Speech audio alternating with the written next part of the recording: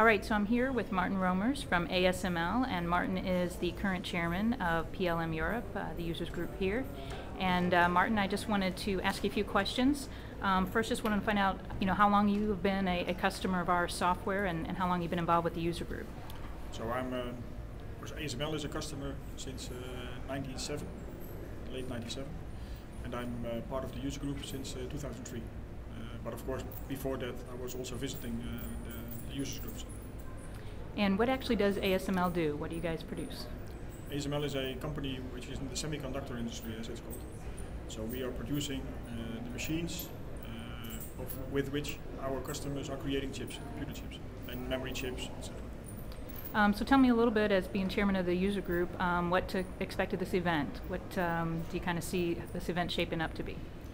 Well, it's, it's the location is new for us also this year. So uh, we moved from Germany to Paris after many years of Germany. Uh, uh, we, we, we think or we hoped to get more attendees, and that's why we moved to the, the Paris location where we can have where we can handle much more attendees.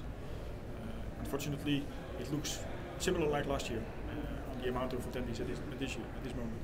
And it's, it's what, about 500 attendees or so? Yeah, it's, it's something in total of uh, 760 okay. uh, registrations, but of course, part of that are Siemens people, okay. part of them are exhibitors, and uh, I believe it's something around 500 customers. And there's something like over 200 presentations, I believe, on the agenda. Is that correct? Yeah, it's almost 200 presentations. Wonderful. Um, and is there a particular presentation that you're looking most forward to seeing here?